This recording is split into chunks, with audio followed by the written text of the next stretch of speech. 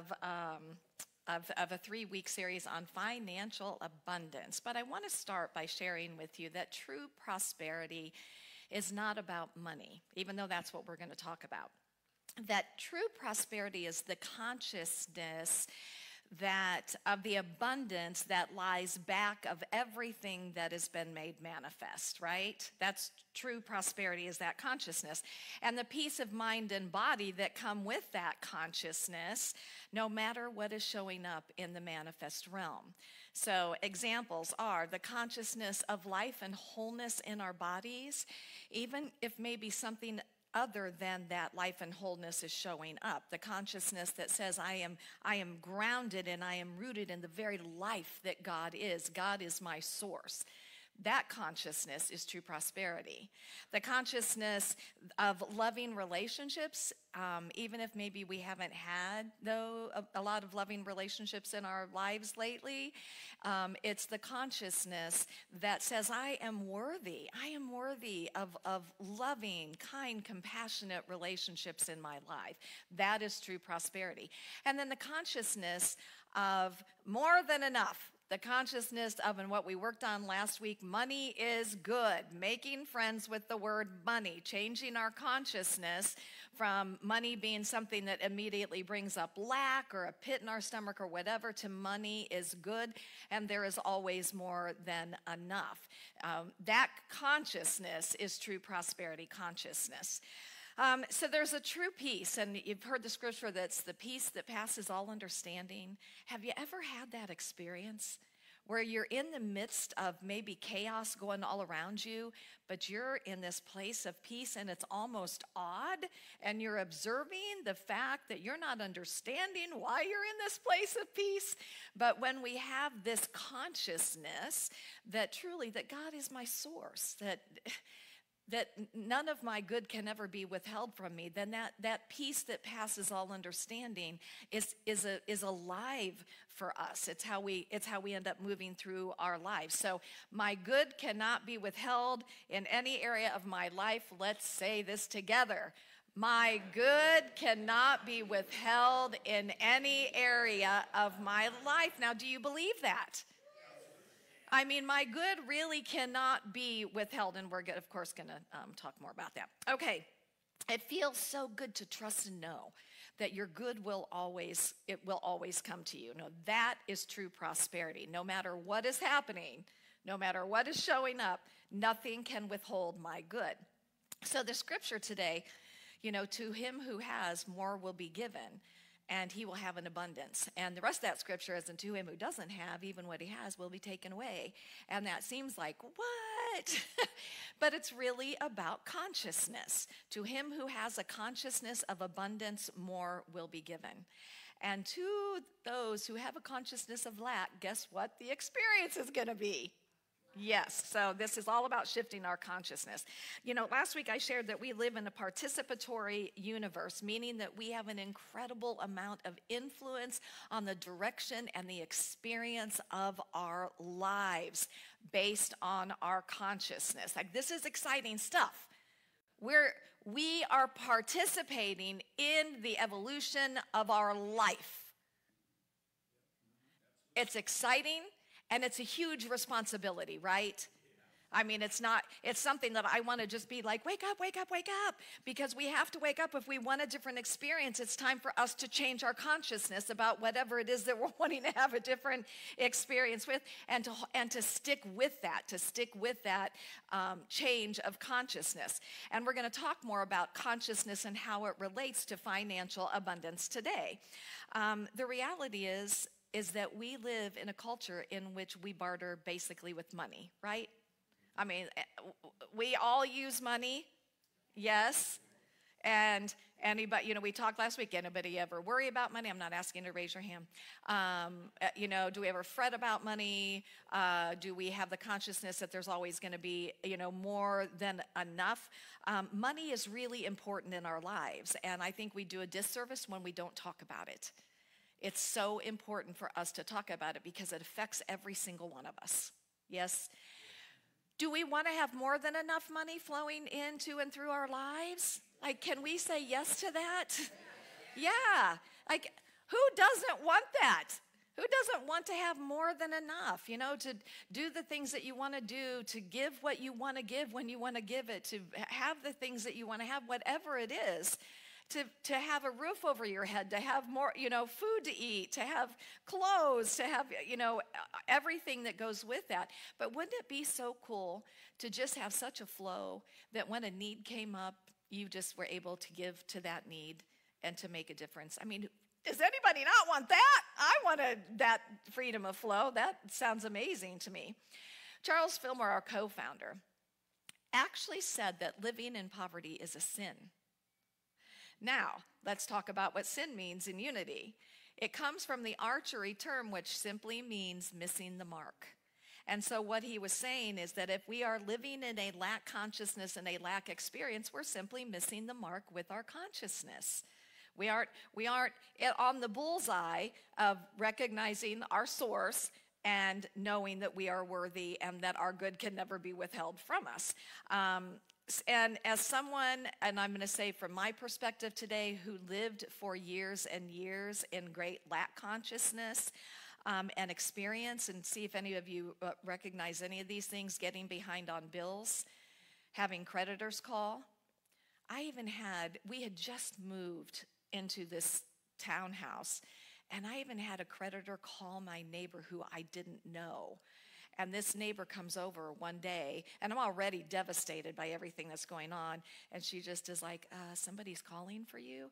And it was a creditor. like, what? um, and um, bankruptcy worrying about paying the rent, having enough money for gas, having enough money for food. Um, I lived that experience. And um, I am so grateful, as I said last week, that in my early 30s, I found unity and I found these truth teachings because they have literally changed my life for the better and they have definitely changed my financial life. Um, in expected, but also in very unexpected ways, as recently as just this past week. And I'm gonna I'm gonna share about that in, in a few minutes. Um, and as I said, it didn't happen overnight. You know, I I'm was you know I think 31 when I got here. I'm 37 now, um, plus 30 almost, but. but it didn't it didn't happen overnight and i love because you know i love to use nature as a teacher, but Jesus loved to use nature as a teacher. And I loved how in Mark 24 28, he said, For the earth bringeth forth fruit out of herself, first the blade, then the ear, and after the full and after the full corn in the ear. So it's like there's a process and and we're patient with the process. We we keep doing what is ours to do to nurture this seed consciousness and we have the patience to allow um, to allow for it to happen. And here's the thing I'm going to tell you it will happen. You just got to keep on, keep on keeping on. Um, it, your job is to keep your eyes and your consciousness on what it is that you are desiring to experience. That's really easy to do, isn't it? Especially when they're in the midst of something opposite. Oh, I'm going to keep my eyes over here on what I want, even though this is wah wah. You know, it, it takes effort. It definitely takes effort, but it's so, so, so, so worth it. Um, and I'm going to tell you this I would have never guessed the ways that my good has come to me. I mean, and that's the beauty of it, and that's why God is God is my source is the first place we go every time. Because this realm of infinite possibilities and potentialities are beyond your human mind. It's beyond any experience you've ever had. It's beyond anything that you can imagine or think, the ways that it can come to you. And I'm going to share about that in just a minute. So, um, and, and here's the thing, too. I, I know that these principles have been proven over and over again in my life, and I know that most of you out there have proven these principles over and over in your life. Yes? And I'm just sure that there are those of you out there today who would be willing to talk about that with people who may be new to unity, with people who may be struggling themselves in some area of their life right now. So I'm going to put you on the spot. If anybody, and not that you have to just get up and go do this, but if anybody would be willing to share about what these principles have done in their lives with somebody else, could you just raise your hand and I'm thinking you, Dwayne, and Paul. I'm going to start pointing you guys out. Yeah, raise your hand for just a moment. So, look at it. This is great. The people around you, if you need to talk to somebody, go to these people who have had these experiences. Um, because I'm telling you, these principles work if you work them. They work if you work them. It's, it's amazing. Okay, so five basic principles of unity. They are God is, I am, I ask, I pray, I act. The first principle God is, God is my source. We talked about this last week. And we use this little tiny sentence in four ways God is my source. God is my source. God is my source. God is my source. And it's something different with each time that you say that. And then let's say this one my consciousness of God as my supply is my supply. Um, so that's God is, and um, that is God is. Next one is I am. we can say this together. I am not all that God is, but all that I am is God, because I have come forth from this one presence and power. So all that I am is is this. That's why when we talk about the kingdom is within you, it cannot be anywhere else because you have come forth from it. And then I am. And let's say this together. I am worthy. And next one, I am inherently worthy of the good I seek. This is a big one for us because we don't always recognize our worthiness our worthiness to live the life that is trying to be lived through us, whatever that is, in whatever way that is, to live the dream that you may have in your heart and your soul. And you know what? Your dream may simply be that um, I just want to have enough money to be happy for the rest of my life, planting my garden and, and reading books or doing whatever, but knowing that you're worthy of whatever that deeper dream is inside of you. Um, so I, I, what I'm going to do is I'm going to talk about uh, the story of the prodigal son, and we're going to look at this in a couple ways today and how it relates to worthiness. So the story of the prodigal son is that it's a parable. Jesus tells it. There's this father. This father evidently had some money, and um, so he had two sons, and his youngest son came to him and said, "Hey, Dad." I'd really like to have my part of the estate now. And the dad said, okay, you know, gave him, gave him part of his, what his inheritance was going to be. So a little while later, this young son decided that he wanted to go out and he wanted to, to see what the world was about. So he took all of his inheritance and he went out into the world. And essentially, it's, it's saying that he lived um, um, lavishly. that he squandered his inheritance and uh, recognized and realized one day he didn't have any money left. And the thing is, is that the whole country was in a famine at that time. And so he realizes, well, I have to do something. I don't have any food. So he hires himself out to a pig farmer. And uh, so he's feeding the pigs, but while he's there, he's realizing, I just want to eat what these pigs have, but I have to feed them. And then he thought, well, gosh, if I go back to my father's house and tell him that I'm so sorry that I've sinned against him. At least his servants have food left over, and I will tell him that I will be one of his servants. So he gets up and he goes is going to the father's house. Well, before he can even get there, the father sees the son and he runs out to him and with open arms and he and he and he welcomes him. And immediately the son is saying, Oh, Father, I'm so sorry. I've sinned against you.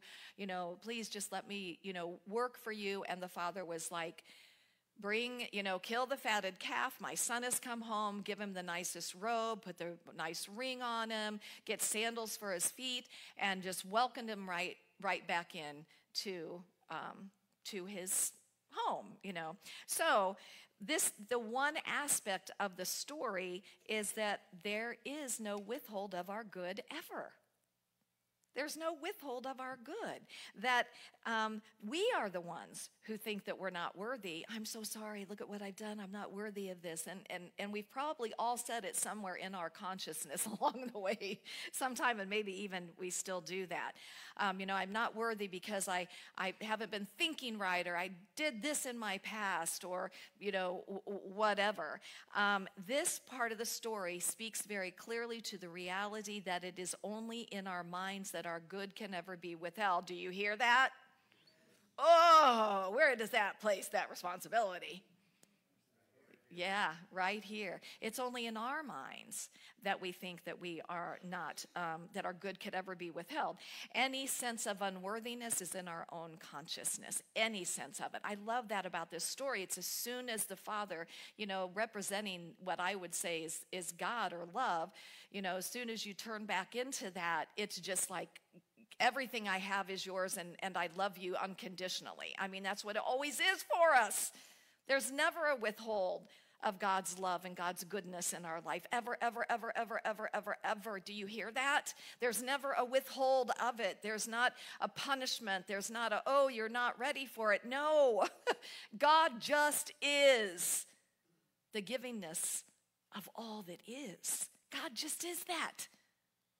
And it's like, here, it's all for you. It's all for you. What? Wow. Um, we live and move and have our being in God's possibilities and potentialities. We literally live and move and have our being in this. By virtue of the fact that you exist, you deserve the good that you are seeking. By virtue of the fact that you exist, you deserve the good that you are, are, are in. And I love it because to me, this parable is saying, Come home to this remembering. Come home. Come home, my child, and remember who you are and remember again what you live and move and have your being in. So let's say this together.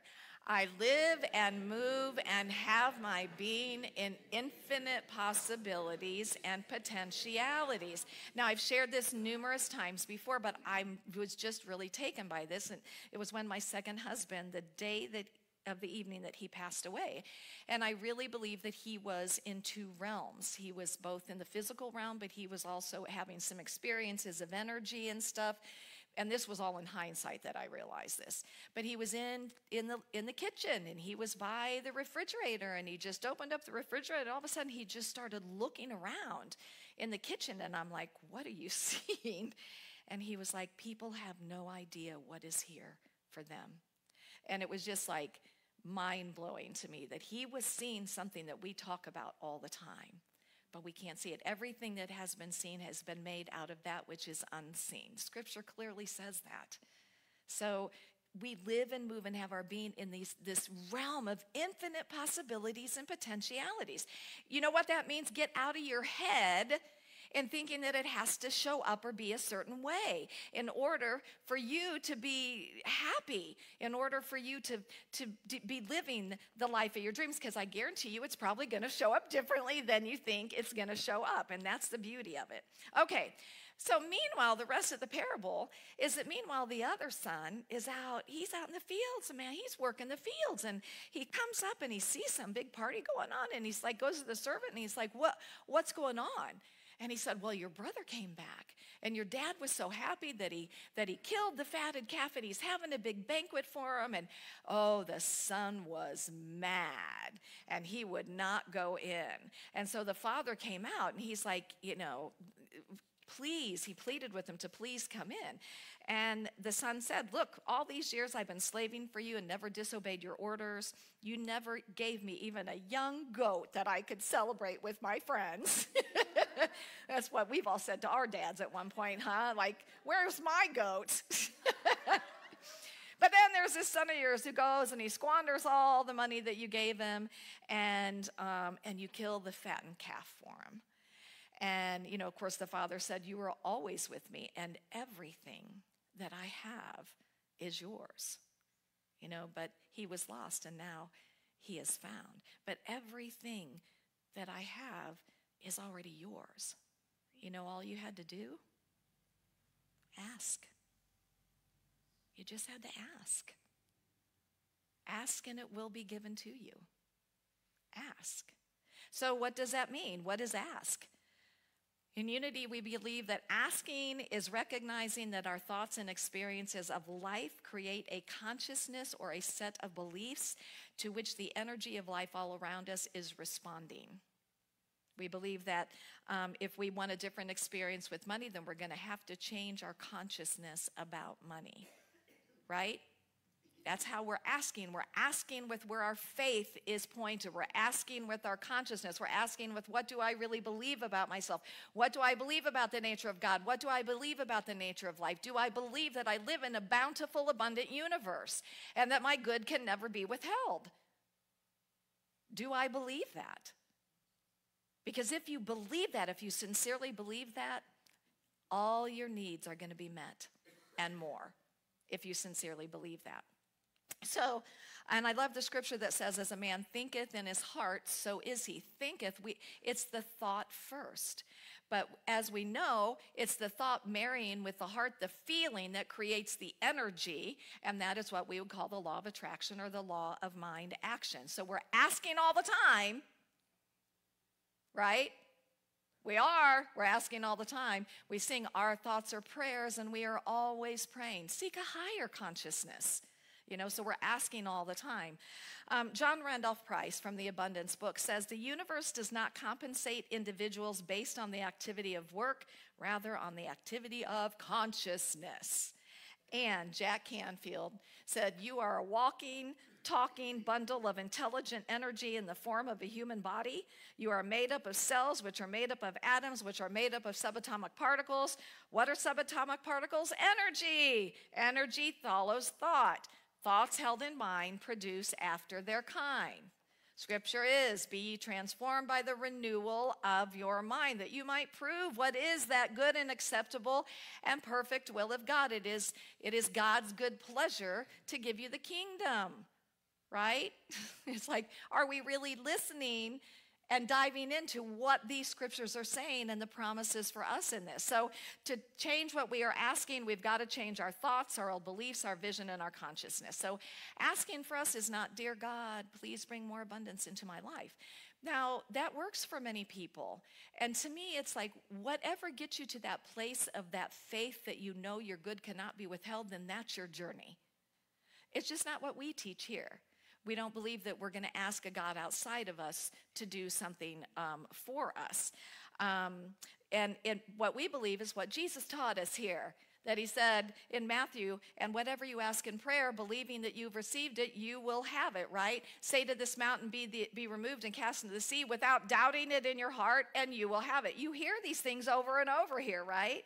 So it's really all about, again, what are we focused on? Am I believing? What am I believing that I'm receiving in my life? What is what I'm believing that I'm worthy of receiving in my life? Whatever it is. So I'm going to share with you that for me, you know, say to this mountain, be removed and cast into the sea. The mountain for me was um, this old belief system that there was never enough, there was never going to be enough, no matter how hard you worked. I grew up with that belief.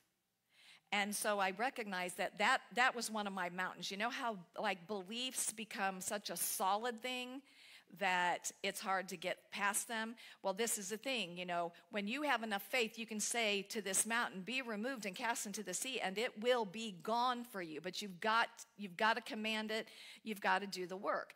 So I'm gonna um, tell you um, an experience that I had recently, and I really thought about, thought about, prayed about, but I feel guided to do this um, because this is exactly what happened. It pertains to what I'm talking about today. And I absolutely love that a shift in my consciousness is caused me to take an action that I otherwise would not have taken at that time. Um, so I just, it's just such a cool story.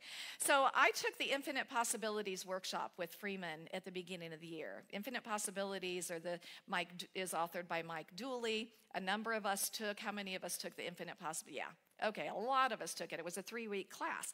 And through this three week class, I dove into some of my old beliefs, and what came up for me was my beliefs about money And I recognized that I still was carrying this consciousness that there was not going to be enough. And I had numerous conversations with Paul about that during that time. And but through that workshop, we were encouraged to look at our beliefs and then to shift into, well, what what do I want?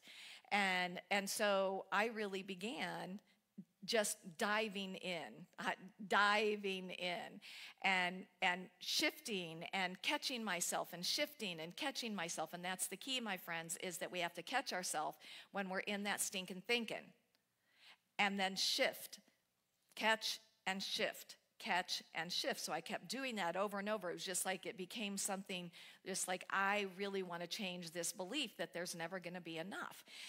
So um, a few weeks um, at, later, Paul and I went on vacation in Dauphin Island, and I had this, you know, two weeks of just finally hitting this place of total relaxation.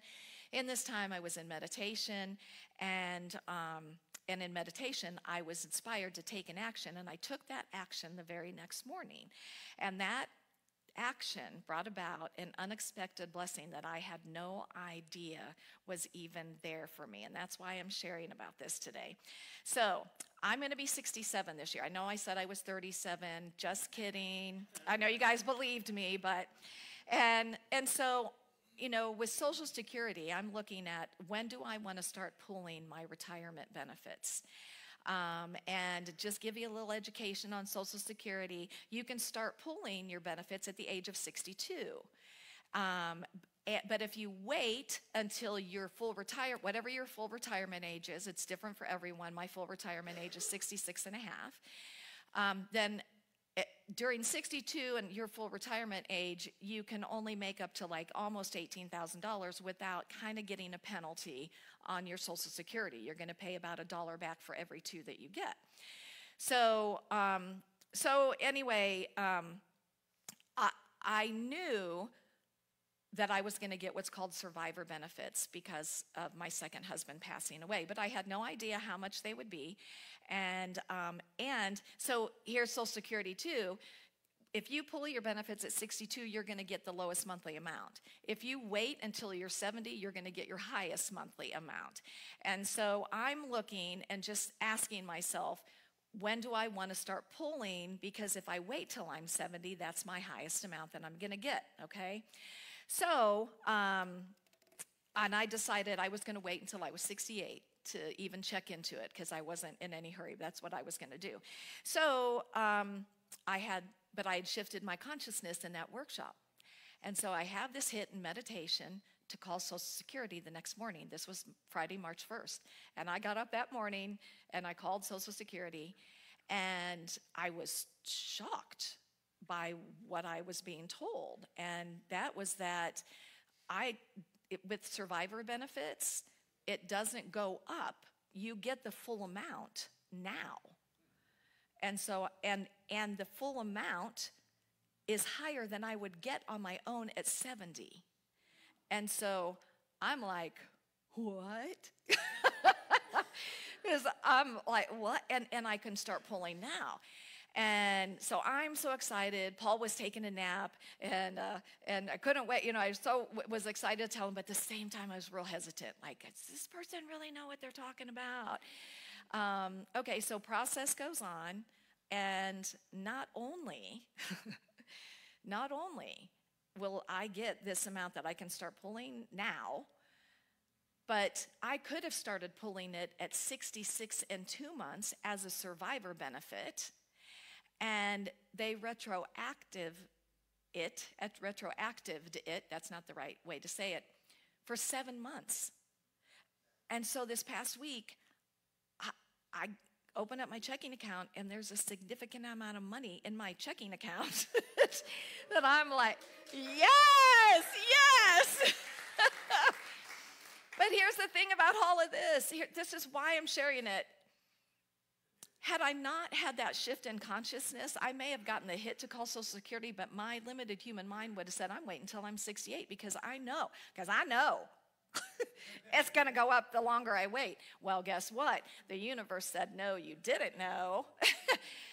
and this money was just there, and I didn't even know it was. That's my point. You never know where your good is going to come from. You don't know how your good is going to come. I never, in my wildest imaginings, would have thought, first of all, I was going to get the monthly amount that I'm going to get. Second, that I would get seven months worth of that in one fell swoop. But because I listened and I took action on it, and had I waited until I was 68 to even check into it, I would have lost about five months worth of income that, that, that was just mine. It was just waiting there for me. My point is to say, get out of the how. Get out of thinking that your, your good can only come through your job or Social Security or through whatever. Your good can come through ways that you have not even begun to imagine yet. All you have to do is you have to get yourself in alignment. And that first step is God is my source. Holy Spirit is my source universe is my source, whatever you know, say, God is my source. I am worthy, and I my good can never be withheld from me. So let's close today. And I do want to say, and I'm excited, and I think Simone's going to talk about it today, that uh, Amy Burnett, our board president, is going to be presenting the Prosperity Plus program. It's a seven week, I think. Um, journey on Sunday afternoons, and I want to encourage you to take that class and dive in. If you want a different experience with money, dive in and do the work that, uh, that is being offered here. So let's say together God is my source. And I am worthy. Now, I want to tell you this affirmation I started using years and years and years ago. And I love this affirmation because I'm open to the abundance of the universe and I expect it so I'm expecting my good's going to come to me. I don't know how, and I accept it. So I'm I'm acting as if I'm feeling that good coming to me in expected and unexpected ways. Okay? So let's say that together. I am open to the abundance of the universe, and I expect and accept all of my good in expected and unexpected ways. And I know for each and every one of us, we're, oh, thank you, God, yes. I know for every single one, that's a really important part of that. that we're going to have some really wonderful expected and unexpected blessings. Please share those with us as um, time goes on. And just have a beautiful week creating and, and being open to your abundance flowing in your life. And I say namaste, namaste. Yay! So, next week we're going to be talking our third week about um, gratitude and generosity and how important that is in our, in our journey of uh, financial freedom. All right, so now is a time in our service where we get to be in the flow of this. Uh, we get to support something that is important to our hearts. We get to support uh, things that we're uh, growing and doing and being together. You, many, many ways that you can give. Uh, but let's uh, share in our gift blessing together. Divine love through me blesses and multiplies all that I have all that I give and all that I receive. And thank you, God. Good morning. Glad to see your shining faces, and to you online, I'm happy to see your shining faces. If you're here for the first time, or if you haven't been coming very long, uh, Linda's back there with the gold stole, and she has an information packet and coffee mug for you. So please stop by and see her, and she can answer questions about Unity. Will you please check in on Facebook? Tell everyone you're here and you're missing them.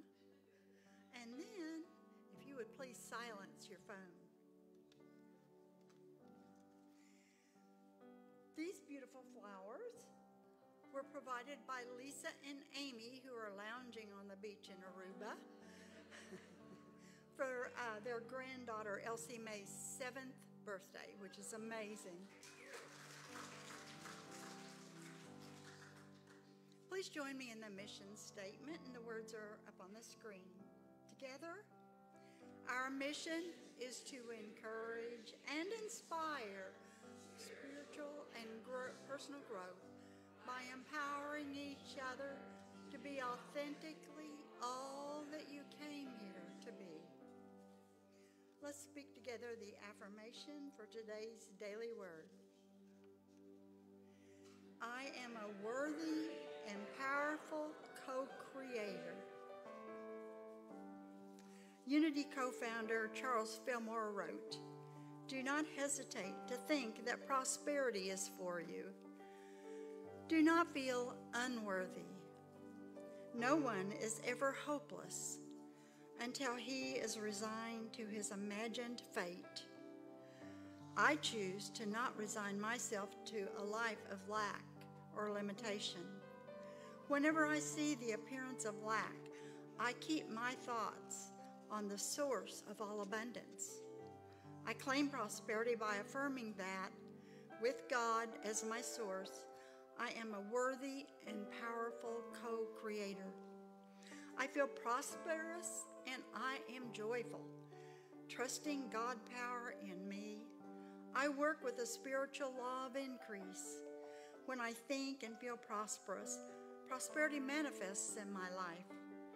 I appreciate the abundance all around me, and I claim prosperity right here and now. The scripture for today is Matthew 13 12. Please join me. For those who have more will be given, and they will have an abundance. Let's repeat the affirmation together. I am a worthy and powerful co creator. As Sue rings the prayer bowl, please hold the following people in your prayerful thoughts Larry, John and Amy, Beth, Steve, Susan, Brenda, Jeremiah, Pat, and anyone else who comes to your mind. We surround John and Alice Merrifield in Georgia with peace and comfort on the passing of John's brother Tim. Let us sing our thoughts or prayers.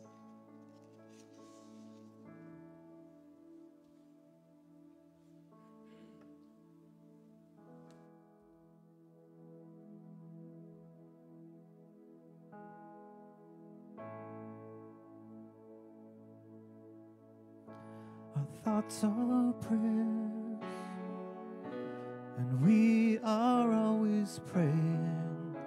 Our thoughts are prayers. Listen to what you're saying.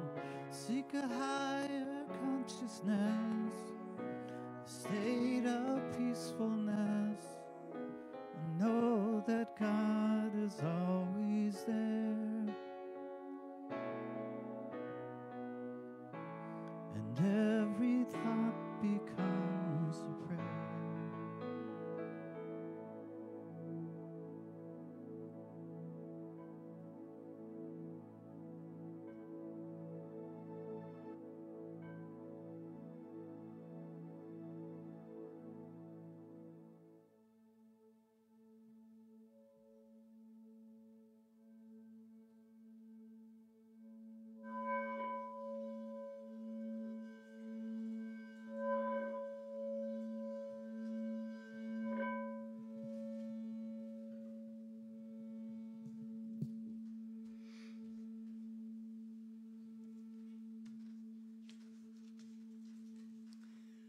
us absorb the vibrations and hear the tones coming from the prayer bowl.